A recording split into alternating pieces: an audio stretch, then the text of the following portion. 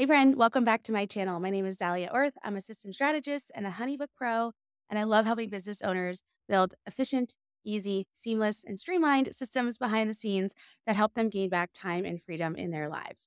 So, if you're new here, make sure you subscribe below and take advantage of the, when new episodes release on the channel.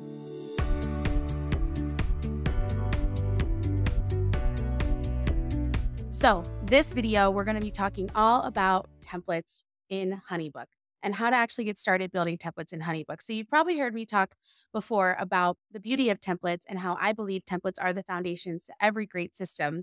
And that's no different with Honeybook. So, how do you actually get started with your templates though? And what does that look like? So, I'm actually going to give you a little bit behind the scenes tutorial in Honeybook of where to get started with your templates, where to actually start building your contracts, your invoices, your emails, your packages, all of those things. But the very first thing you want to make sure you do is actually gather your templates in the first place. So the easiest way to do this is within a Google document. Open up a fresh Google document and just write at the top, like title it email templates, right? So again, then you go into your inbox and you look at, okay, what are those emails that I send all the time to the same people over and over and over again? Maybe you have the same response for your inquiry response. Maybe you have the same response for filling out a questionnaire. Whatever that might be, copy and paste those, those templates over into a Google document. And then you go into your Honeybook and you start to copy and paste them right into the system. So that's the easiest way. Same with a contract. If you have a contract you've already purchased already, what you want to do is you'll just copy and paste that contract into Honeybook. And then you'll just want to fill in the blanks. You can fill those in with smart fields I like to use. And those smart fields will then be able to auto populate some of that information from your client.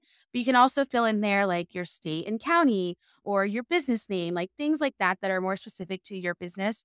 But going in and actually copying and pasting it and putting it into your account will be the start of getting your templates up and running. Same with your packages and pricing. If you already know those, you have all the details ironed out for those. Maybe you have a website page with all of your package details in it. Copy and paste those into your Honeybook account and get those started with your templates because that'll be a huge game changer behind the scenes for you. So, we're going to dive in a little bit on how to get started making your templates in Honeybook. Where do you actually go? How do you start doing that? And then, of course, if you have any questions, leave a comment below or let me know too like, what templates have you already built in your own business? And what have you found to be most beneficial by having templates in your business? I would love to hear. And then there's some free resources you can take advantage of below too, including a link to contract templates if you're on the market for that, and a few other resources that I provide within my business. So stay tuned, friend. All right, so where do you actually start begin creating templates for your own business? I've covered a lot in other videos with templates you, you might already know, but in case you don't, you just start on the main dashboard page. So if you're right here in Honeybook, you'll just come to tools and click on my templates. And then we have legacy templates and my templates. So legacy templates are the older version of what Honeybook templates used to be. So now they have things called smart files, which is the new way of doing templates. But you can still have access to your older templates as well if you wanted to access any old contracts or invoices. And you can actually easily just convert them over into a smart file. But if you're ready to make your own templates, when you're ready to build them from scratch, then what you could do is you can here where you access your email templates and you can just add a new email in here, packages, any package details you want to include. So you would click on create a new package, put all your package details in there, put your pricing in there. Contact form, being able to get the contact form built in Honeybook and then embedded on your website. Your email signature, you can also do that in company settings. But if I go to all, you can see that I can also create a contract, an invoice, a proposal, services, questionnaire, all of that good stuff.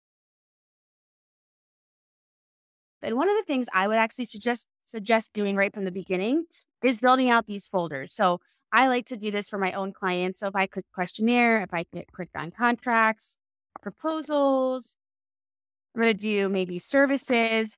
And so then you have all these different folders that you can actually set those up in your own Honeybook account, you can actually file those away. So once you make the folder, you can actually then move it to a folder and we're going to move this.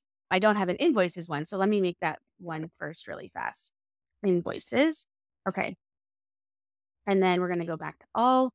And I love being able to organize it this way because it's it's then super easy to then just identify like where where different templates are when I'm ready to use them for my own business. So this is this would be like a questionnaire. So we can move that over into there. So then when you come in, if you clicked on this one, you would see that this is now filed in my questionnaires. It will still show up in here, But if I just want to look at my questionnaires and utilize my questionnaires right from the start, once I file all of these and create folders for them, I can easily just then go in and access them. So it's really easy to then build them within my projects with my clients. So of course, any questions, let me know. Um, but I'm super curious to hear what templates you might be creating currently. And if you run into any hiccups, I'm happy to help as well.